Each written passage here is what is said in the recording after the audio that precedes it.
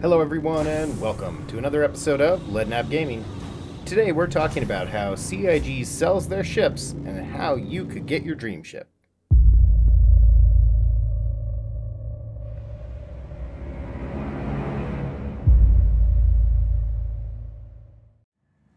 Odds are, if you're a newer citizen of the verse, you might be wondering how to get that cool ship you've been watching ship review videos of, or that you see us always talking about.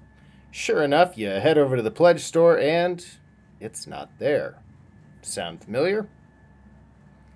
Now, I've had a few comments wishing I'd cover in game sales and not just real cash sales, and don't worry, I'll be covering those in another video. And if you need, this video is broken into chapters and you can click on the destination you need. So, that dream ship. Well, if it's an RSI Perseus, you're in luck because Lead's Legion has completed voting on the 10k giveaway ship, and you guessed it, the Perseus was the winner. Here are the five names from March who will enter the drawing when the channel hits 10,000 subs. If you want to be in the drawing, make sure to comment on videos and be subscribed. Full details in the description below. If, however, you're looking for something that isn't a Perseus, well, it's a little more complicated. First, we'll need to sort out a few terms. When you hear war bond, it means paid for with cold hard cash, which for most viewers is probably the means you were already thinking of using. This will make a little more sense here in a minute. Credit means using credit on hand from CIG, which is usually from melting or returning ships you've already purchased. These offerings are different from war bond offerings. Insurance and lifetime insurance is a whole different kit and caboodle that we won't be covering today other than to make mention in places such as when things come up. The last three are concept, flyable, and straight to flyable. Concept means the ship is in its concept phase. The data knows what CIG has told us, we have pictures of it, but you can't get in one yet. You can't fly around in the verse with it. This is what happens when a ship becomes flyable, literally when a ship is in the verse. It can be flown or boarded by players. Sometimes ships combine these two, and they're known as straight to flyable, which simply means out of the blue, CIG introduces us a vehicle that you can immediately buy and play with in the verse. Examples recently of this would be the Nomad and the ROC all ships go through the same sales cycle, which determines their availability and pricing. First, you have a concept sale. This is when CIG announces a new, never before heard of ship. Concept sales are important for two reasons. First, it will be the only time LTI is likely to be offered, and second, it will be the cheapest the ship has ever sold. Concept sales last 30 days. CIG doesn't always tell you the exact date it will end, but the sales are always 30 days, so you can generally bank on a month of availability.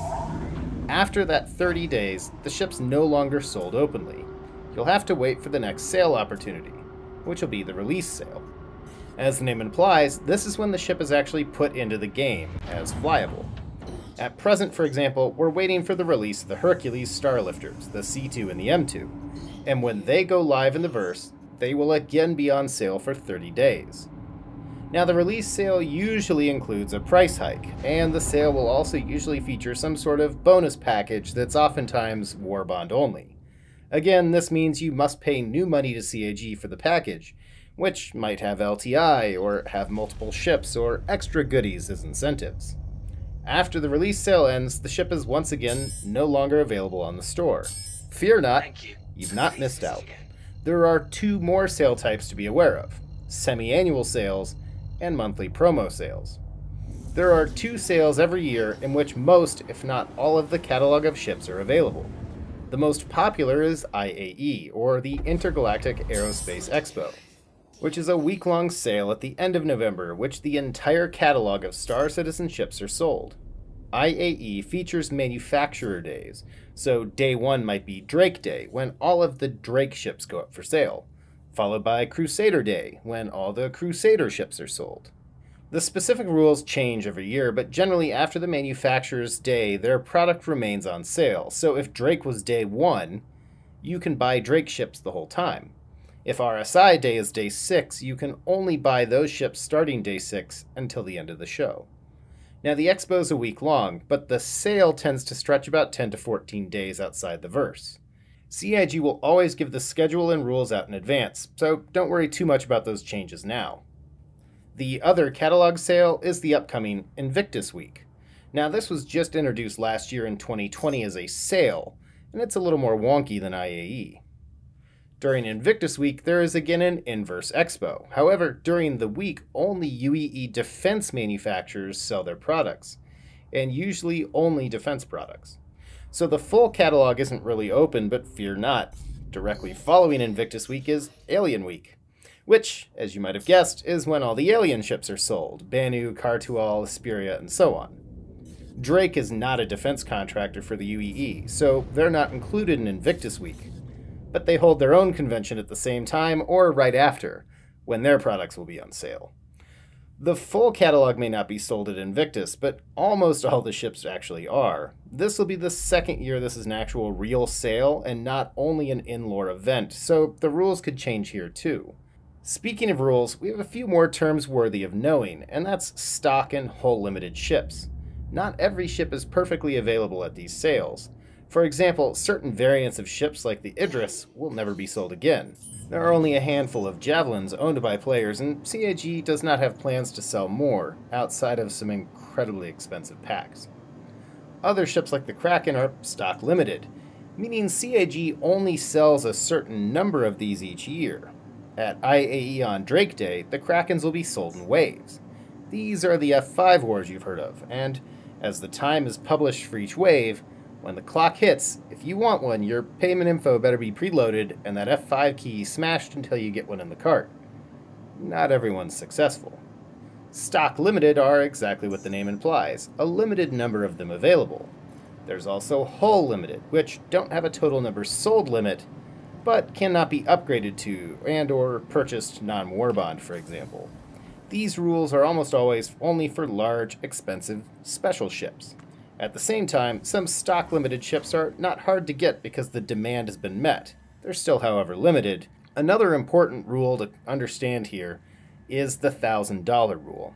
If a ship costs more than $1,000, you will get it with LTI automatically, no matter when you buy it, as long as it was on sale. Ships under $1,000 only carry LTI at their concept sales, on special packages, or special releases.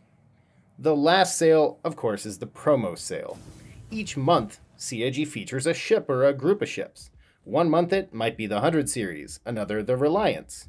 If you're a subscriber or you follow the news, whatever the subscriber ship for the month is, that is the ship of the month, and therefore sold.